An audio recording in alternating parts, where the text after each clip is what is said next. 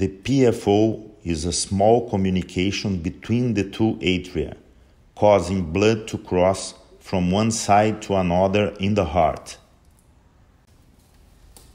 In the percutaneous treatment, catheters and wires are inserted in the femoral vein in the groin, avoiding cut down.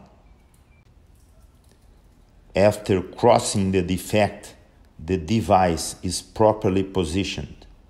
The first part is opened in the left atrium and the second in the right atrium, closing the defect.